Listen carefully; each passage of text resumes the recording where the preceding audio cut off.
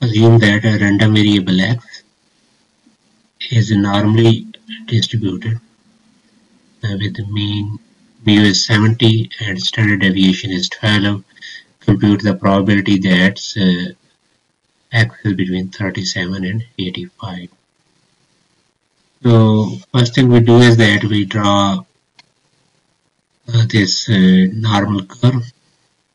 We have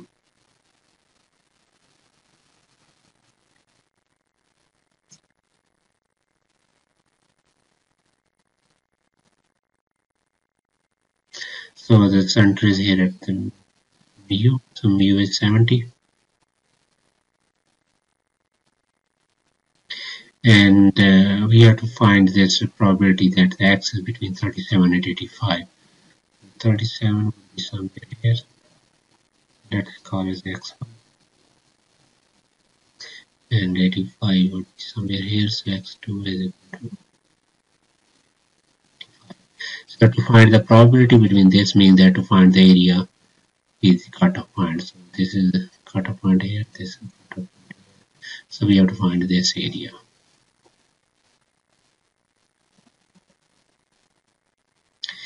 And to find this area first we have to find z values. So for x1 so let's call it a point z1 so z1 would be x1 plus mu by sigma and x1 is 37 minus mu is 70 you see this is mu? This is x1 right? And sigma is this one highlighted it here.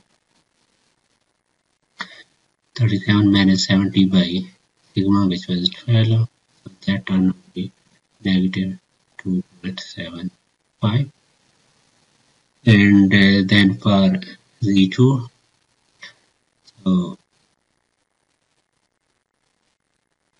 that would be x2 minus mu by sigma. And x2 is uh, 85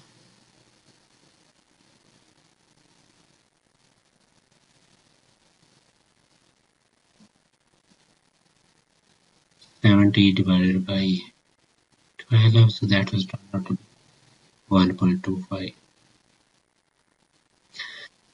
now this uh, z1 is corresponding to this one so corresponding to x1 so this value here this is corresponding to this value here.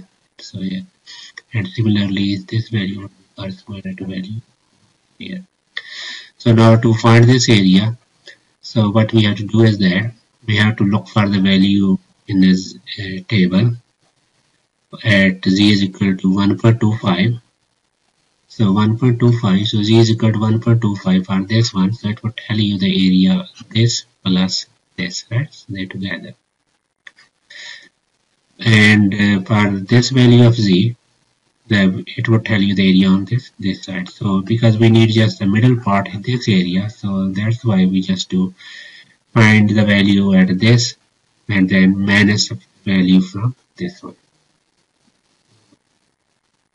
p of so x is 85 37 so this would be the same as probability of c is then negative 7 5 less than 1 now just uh, go to the table 1.25 so you see that this one here uh, uh, one uh, 1.2 so this is 1.2 right? And the next digit is 5 and that would come from here. Column come down here column and then go in this row. And it's a point eight nine four. So I would write point eight. And this is far as corresponding to z is equal to 1.25 so uh, this way right?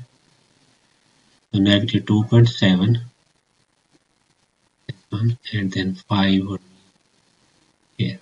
Right so column 5 this would be turned this value in this column and 0 0 three zero. That would be zero zero three zero, and this would be zero point eight nine